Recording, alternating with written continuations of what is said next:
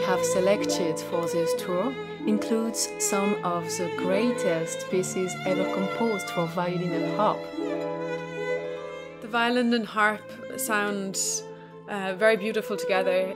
There's a huge range of possibilities and colours, um, from very deep and intense to almost um, ethereal.